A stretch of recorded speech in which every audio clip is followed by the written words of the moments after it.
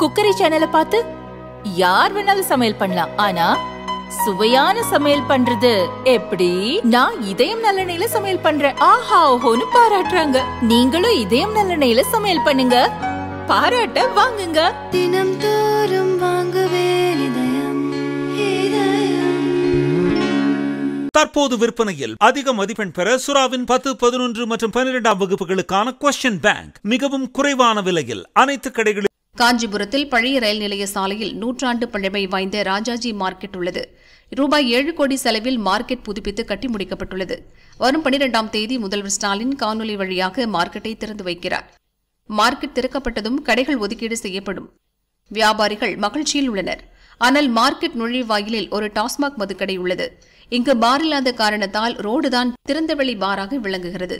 கடையை திறந்ததும் குடியும் கும்மாளவுமாய் மதுப்பிரியர்கள் கூடிவிடுவார்கள். அந்த சாலை வழியாக பெண்கள் நடமாடவே முடியாது. அந்த அளவுக்கு இருக்கும் மதுப்பிரியர்களின் சேட்டை. அவர்களை சொல்லி குற்றமில்லை. உள்ளே போன சரக்கு செய்யும் கலகமதி என்கின்றனர் வியாபாரிகள். இதனால் மார்க்கெட்டுக்கு வரவே பெண்கள் தயங்குவார்கள்.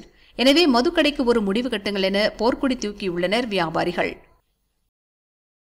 இப்போ நூறா நூறாண்டு கால மார்க்கெட் இது. ரொம்ப சீர் சீரழிஞ்சு போயிருந்தாலும் அது ச- புதுப்பித்து புதுப்பிச்சு எங்களுக்கு நல்லா சிறப்பாக கட்டி கொடுத்துருக்காரு. எங்களுக்கு வந்து இது இந்த இந்த சீக்கிரமாக திறந்து விட போகிறாருன்னு கேள்விப்படுறோம். அது அதுவும் இல்லாமல் வந்து மார்க்கெட்டு பின்புறம் வந்து ஒரு மதுபான கடை டாஸ்மார்க் இருக்குது. இது ரொம்ப நாளாக இருந்ததுனால நாங்கள் அதை பற்றி பின் பின்பக்கிறதுனால அதை பற்றி கவலைப்படாமல் இருந்தோம். இப்போ வந்து நேர் வாசப்படியில் வந்து வா வாசலுக்கு நேராகவே இப்போ வந்து மதுபான கடை இயங்குறதுனால பெண்களும் குழந்தைங்களும் வர்றதுக்கு கொஞ்சம் தயங்குவாங்க.